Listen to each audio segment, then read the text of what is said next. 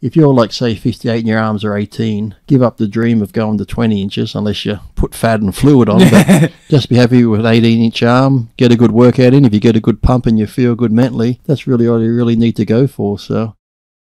This is from Graham McLean. He's a, a regular commentator. Can I say we have a have a regular name too?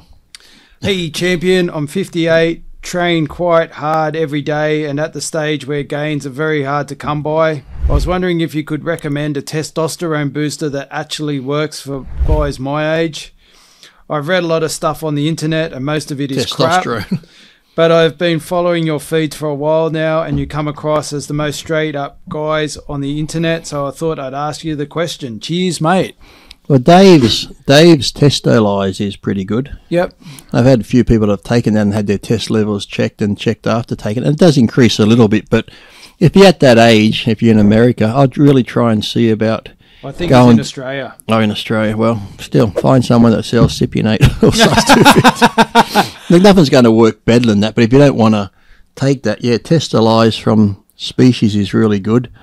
I don't really know about many other companies because I only know about that one. I've known people have had blood work done and they've seen a little increase. But at 58, you know, your testosterone level is going down. Whether it is, I never looked into it. But I'm sure there's probably some certain foods that probably help I know licorice and different foods can decrease your testosterone, so there must be natural foods you can probably eat that help your testosterone. But yeah, species one was really good. I know, I think Gaspari had one too.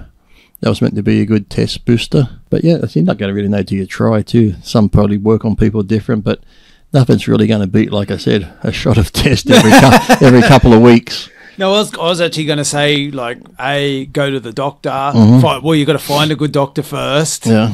To get your test levels checked. Get your test levels checked. And if they are down, then they'll send you to an endocrinologist and they'll test you. And then they'll say, we'll come back in a month's time. If you're still low, then, you know, you got to, like I said, jump through hoops and that sort yep. of shit. But you eventually get it if it's really low, especially if you're just telling you're depressed, suicidal, you just feel like, yeah. yeah.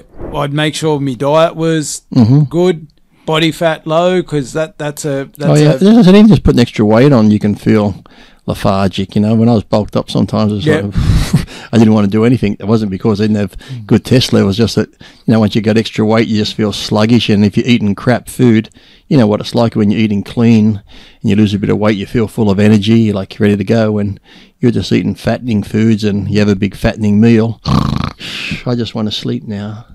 Another thing I'd say is trains quite hard every day. Mm-hmm. Well, my probably advice would be. So, you know, I'd like switch it around a bit. You don't have to go hard every day because yeah.